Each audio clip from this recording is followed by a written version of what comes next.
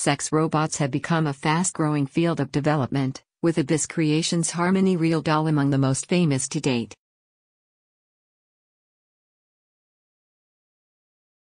And now, it looks like Harmony is getting a sister.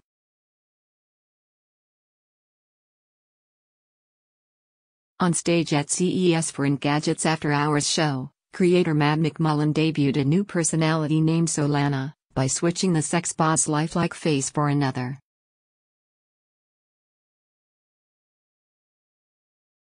McMullen also revealed he is working on developing male sex bots along with the potential for more gender variation beyond that, and cleared up some misconceptions about how the integration of male anatomy may come to fruition.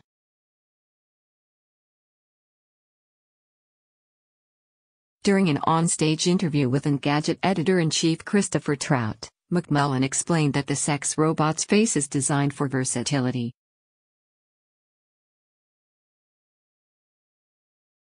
The face is actually modular, the same way that within the app you can change the personality settings and create a separate profile and separate avatar, you're able to remove and attach a different face to the same robot very easily, McMullen said.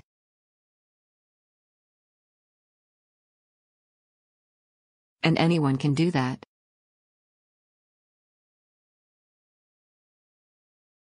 But the process, while quick, is somewhat unsettling.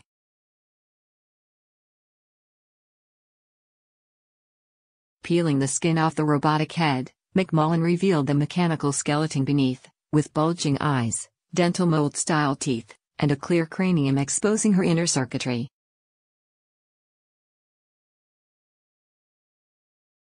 This last component, the creator noted, is just for the demonstration. Owners of the RealDoll Sexbot probably wouldn't have the clear top.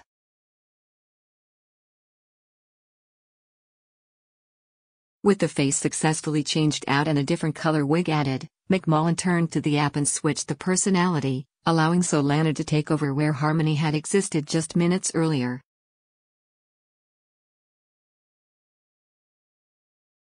During the demonstration, it was impossible not to notice that Harmony slash Solana was missing something important, her entire body.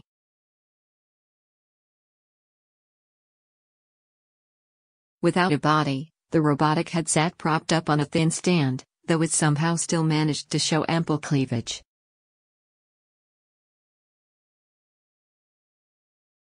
The idea is that the sex bot heads can be added to existing RealDolls using an adapter, the creator explained during the on-stage interview.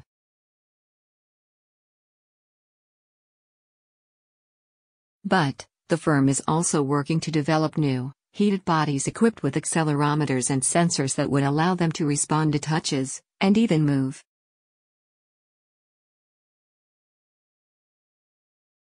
I'm pretty gung ho now about getting movement, working on the neck down, McMullen said.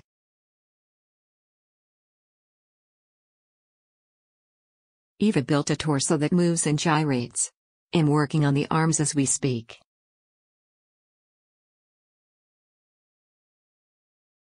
So far, McMullen says he has ordered enough parts to make about 20 of the bots, and already has at least that many pre-orders.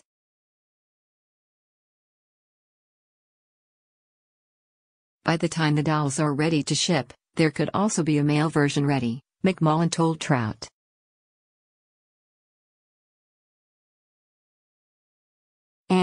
While there has been much speculation recently about the inclusion of bionic penises, McMullen says that isn't quite the case.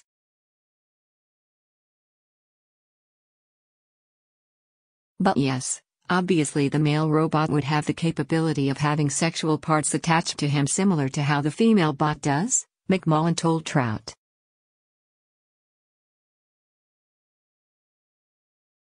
Instead of a vibrator-style appendage, McMullen said, I'm thinking more something that would function the way the male anatomy functions would be really cool, actually able to be stimulated and become aroused.